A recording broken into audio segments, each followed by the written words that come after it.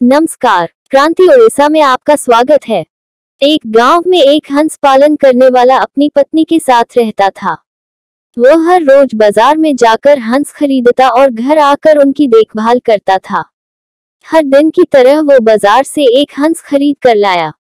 वो सबकी तरह उसे भी बहुत प्यार से पालने लगा और धीरे धीरे वो हंस तंदुरुस्त बन गया।